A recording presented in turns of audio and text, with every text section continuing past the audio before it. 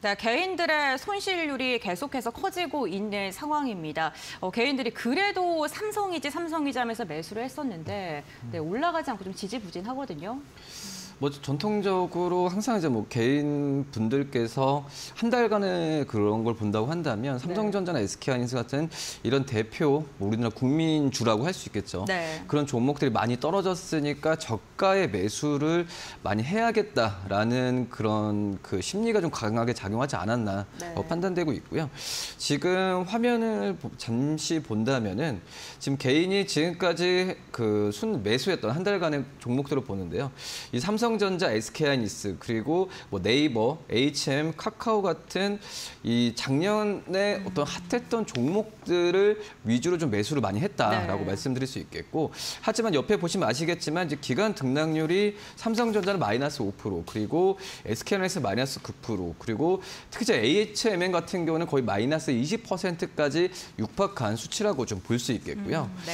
이 상황에서 개인들은 삼성전자를 한 달 동안 거의 5조 가까이 지금 순 매수를 지금 금액을 했었고 삼성전자도 1조 가까이 순 매수를 좀 했습니다. 네. 뭐 이런 점을 본다고 한다면은 지금 이제 그 개인분들이 에코프로비엠을 제외하면은 대부분의 종목들이 마이너스가 났다라고 볼 수 있겠고 네. 역으로 본다고 한다면 이제 외국인들이 어, 가장 많이 매수했던 종목들을 보면요. 지금 현재는 뭐 클래시스 그리고 L&F, 뭐 KT, S-OIL, SK텔레콤 이런 순위라고 좀 볼 수 있겠는데 어, 중요한 부분 같은 경우는 뭐 KT나 SK텔레콤처럼 어, 약간 경기 방어주 통신 업종을 중심으로 이 외국인들 집중 매수했다는 점이 특징적입니다. 이 통신주들 같은 경우에는 이 마케팅 비용 감소, 마케팅 비용이 그 전에 재무에 미치는 영향이 굉장히 좀 컸었는데 이 마케팅 비용이 좀 감소하면서 실적에 대한 기대감이 많이 컸다라고 볼 수 있겠고 뭐 그리고 이 미용 쪽 의료기기인 클래시스 그리고 2차 전지 L&F 그리고 유가 상승의 수혜인 S-OIL을 매수를 한 점이 좀 특인, 어, 특징적인데 어, 본다고 기간 등락률을 보시면은 대부분 의 종목들이 좀 수익을 냈다라고 좀 볼 수 있습니다. 그렇기 때문에 뭐 시청자분들께서도 뭐이 차트를 뭐 보시면은 좀 답답한 게 분명히 있으실 거라 생각이 되고 있어요. 뭐 하지만 이 부분은 사실이라고 볼 수 있겠고요. 역시 외국인들이 모멘텀 있는 종목으로 많이 좀 그 플레이를 하지 않았나 이 부분이 좀 특징적이라고 말씀드릴 수 있습니다. 네, 개인이 가장 많이 매수한 삼성전자 같은 경우는 반대 매매도 제일 컸다고 합니다. 그만큼 하락률이 컸던 건데 어, 사실 개인이 기술주를 중심으로 해서 계속해서 매수 우위를 펼쳐주고 있는데 그래도 기술주 중에서 좀 눈여겨볼 만한 그런 종목들도 있을까요?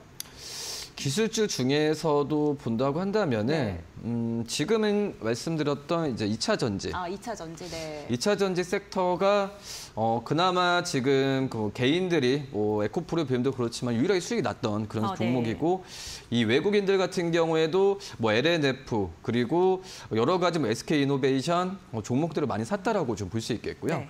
그렇기 때문에 이 2차 전지가 어 그전에는 좀 약간 그 성장주 개념이 좀 가까웠어요. 네, 네. 지금 솔직히 말씀드리면 내연 그 전체 어, 글로벌 차량 중에서도 이 전기차 비중이 10% 내외를 차지하고 있기 때문에 지금 이제 그 어떤 주가 측면에서는 이 전기차와 또 2차 전지에 대한 그 관심이 많이 높긴 하지만 아직은 이제 시작 단계라고 볼 수 있거든요. 어, 네. 그렇기 때문에 이 가치주라기 가치주라기보다도 이 성장주라고 좀 볼 수 있겠는데 네. 그렇기 때문에 이번에 뭐 이 미국 쪽에서의 인플레 우려 그리고 지정학적 리스크 때문에 성장주들이 굉장히 좀 종목이 수익률이 좋지 않았는데 네. 이제 좀 최근에 좀 많이 반등을 하고 말씀드렸던 이제 외국인 쪽에서도 매수에 대한 부분을 좀 긍정적으로 좀 많이 들어오고 있다라고 말씀 그 생각이 되고 있고요. 그리고 앞서서 이제 중국 정부가 중국 정부가 이 테슬라의 상하이 공장에 대한 부분에 있어서 가동 중단, 코로나 때문에 가동 중단했던 부분을 풀었거든요. 네. 뭐 그렇기 때문에 지금 테슬라 주가가 뭐 천 달러까지도 가면서 뭐 천슬라 다시 얘기 나와주고 있는데 네. 우리나라 관련주들에도 좀 긍정적인 요소가 뭐 되지 않을까라고 좀 생각이 좀 되고 있습니다. 여기에 어, 어떻게 본다면 이제 2차 전지 쪽에 대한 부분에 있어서 이 생산 능력, 그러니까 뭐 반도체 수급난과 어, 여러 가지 어, 중국 쪽에서도 뭐 셧다운 문제 때문에 이 전기차가 덜 팔리지 않을까라고 할 수 있겠지만 네. 지금 우리나라 뭐 2차 전지 이 소재 업체들 같은 경우에는 거의 지금 가동률이 거의 100%까지 올라와 있거든요. 어, 네. 이 100%까지 올라와 있는 상황에서도 음, 역시 뭐 생산 공장을 더 짓거나 이런 움직임으로 가고 있기 때문에 2차 전지 쪽에서의 기업들은 어, 지금 뭐 종목별로도 선별을 해야겠지만 굉장히 좋은 움직임으로 가고 있다라고 좀 말씀을 드릴 수 있습니다. 네, 또 원자재 가격 상승, 그러니까 가격 인상으로 또 좀 대응을 했잖아요. 네, 그것도 네. 좀 긍정적으로 바라보면 좋을까요? 그렇죠. 지금 전기차가 네. 어, 거의 뭐 일주 몇 주 만에 2, 3%씩 가격이 올라요. 네. 그 전에 뭐 니켈이나 여러 가지 망간에 대한 그 가격의 원자재 가격 상승에 대한 우려감 때문에 이 부분을 좀 많이 걱정을 했지만 지금은 이제 뭐 판매 가격이 이 부분을 쉽게 잘 전이가 되는 현재 상황이라고 볼 수 있겠고 네. 그리고 지금 그 니켈 가격을 본다고 한다면은 어 지난달 7일에 톤당 42,900달러였는데 지금 이번 달 14일 기준으로 봤을 때는 33,000달러 내렸거든요. 네. 한마디로 판매 가격에 대한 부분이 인상이 되고 원자재 가격도 약간의 그 소폭 조정을 받기 때문에 네. 오히려 지금 이 전기차나 이차 전지 업체들한테는 마진을 확대할 수 있는 기회로 가고 있지 않을까라고 좀 생각이 좀 되고 있습니다.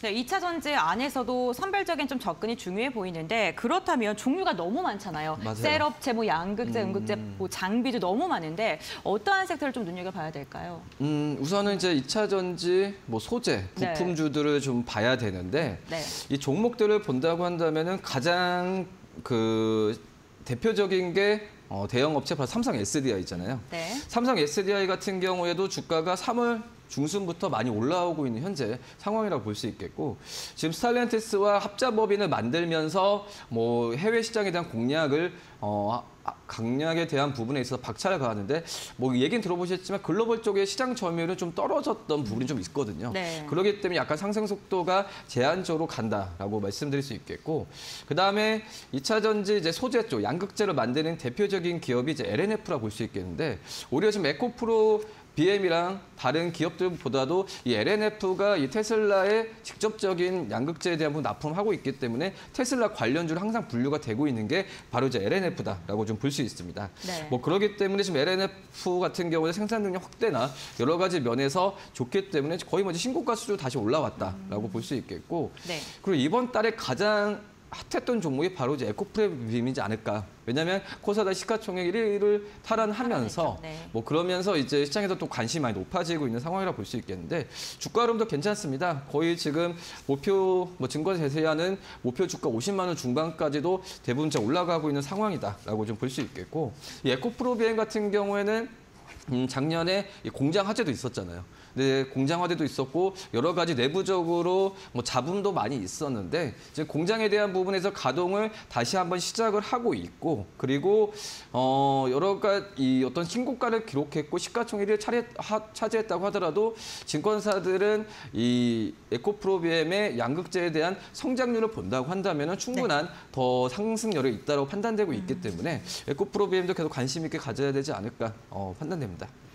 네, 어, 좀 대형주 위주로 말씀을 해주시는 것 같습니다. 시가총액 상위 종목들 위주로 말씀을 해주셨는데 그렇다면 이 중에서 좀 최선호하시는 종목도 무거운 종목이실까요? 아니요, 제가 이제 말씀을 드린 top pick 종목은 네. 좀 가벼워요. 어, 어떤 종목이죠? 바로 이제 신흥 SEC라는 종목인데 신흥 SEC는 이 소재 쪽이 아니고 이 어떤 장비주라고 좀 볼수 어, 있어요. 네. 뭐 cap assembly와 그리고 CID를 만드는 업- 그 기업이라고 볼 수 있겠는데 이 cap assembly 같은 경우는 뭐 쉽게 얘기하면은 이 2차 전지 배터리가 압력을 받게 되면은 폭발할 가능성도 있거든요. 네. 그 부분을 이 가스를 배출하면서 어 이런 부분은 압력 그 폭발을 방지하는 그런 보호막이라고 좀 판단 그 생각하시면 될 것 같고요. 그다음에 뭐 CID 같은 경우 에는 전류를 차단하면서 가스를 배출하기 때문에 이 두 개의 이두 가지의 제품으로 수익을 낸다라고 좀 무슨- 말씀드릴 수 있겠고요. 아직은 이제 신흥 SC가 거의 뭐 삼성 SDI 고객사가 삼성 SDI 전부라고 좀 볼 수 있어요. 네. 하지만 어, 전 세계적으로 봤을 때도 이 캡 어셈블리와 또 뭐 각형 그에 대한 부분의 수요가 늘어날수록 이제 신흥 SEC도 조금씩 이제 고객에 대한 다변화를 할 가능성이 크다라고 지금 판단이 되고 있고요. 뭐 지금 현재 어, PER 수준으로 봤을 때도 저는 지금 주가가 생각보다 많이 안 올라가서 2차 전지 업체들 대비해서는 평균적 평균적인 PER보다 좀 밑에 있는 지금 18배 내외를 형성하고 있기 때문에 네. 이 신흥 SEC는 지금 저평가 국면으로 가지 않을까라고 좀 판단이 좀 되고 있습니다.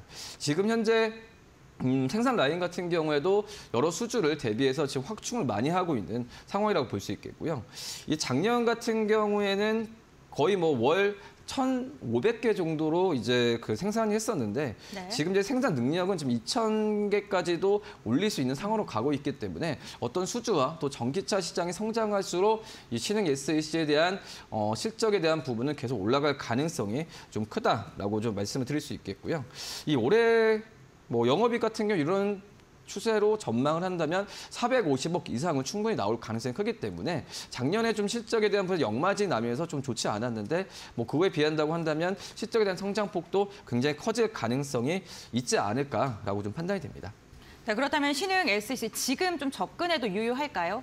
네, 저는 이제 지금도 괜찮다고 판단이 네. 되고 있고요.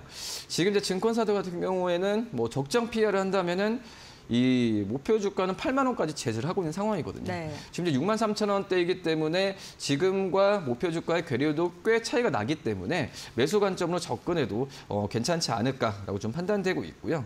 지금 말씀드렸다시피 이 2차 전지 뭐 전기차 전체가 아니라 2차 전지 소재와 부품의 업체들이 PER이 좀 너무 들쑥날쑥해요. 네. 뭐20 근데 하지만 20배에서 30배 사이를 계속 왔다 갔다 한다면은 이 신흥 SEC는 지금은 현재는 매수 관점으로 접근해도 크게 무리가 없지 않을까라고 좀 판단됩니다.